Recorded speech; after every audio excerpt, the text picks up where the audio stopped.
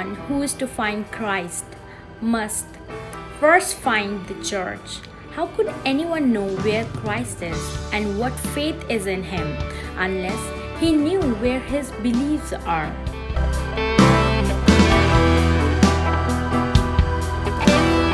Be a sinner and sin strongly, but more strongly have faith and rejoice in Christ.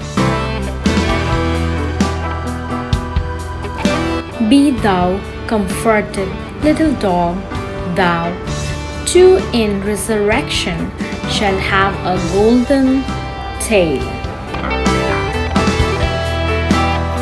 Beautiful music is the art of the prophets that can calm the agitation of the soul. It is one of the most magnificent and delightful presents God has given us.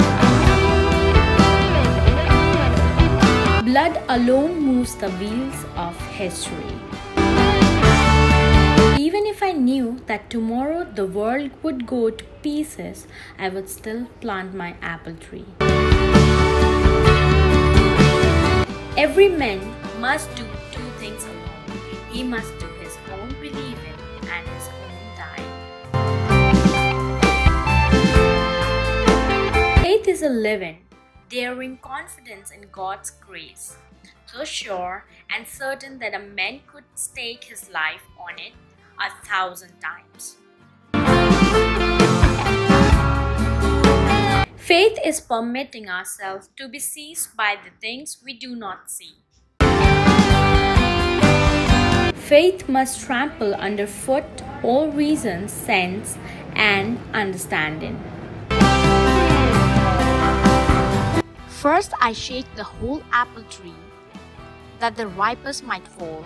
Then I climb the tree and shake each limb, and then each branch, and then each twig.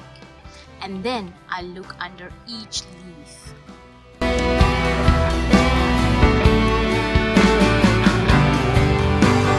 For in the true nature of things, if we rightly consider, every green tree is far more glorious than if it were made of a gold and silver.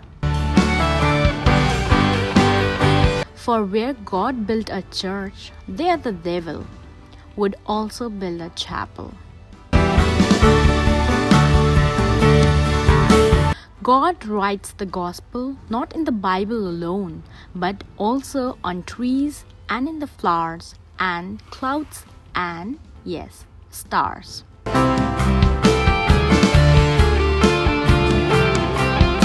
I cannot and will not recant anything, for to go against conscience is neither right nor safe.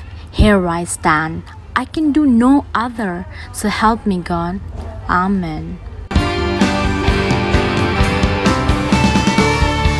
I shall never be a heretic. I may err in dispute, but I do not wish to decide anything finally. On the other hand, I am not bound by the opinions of men.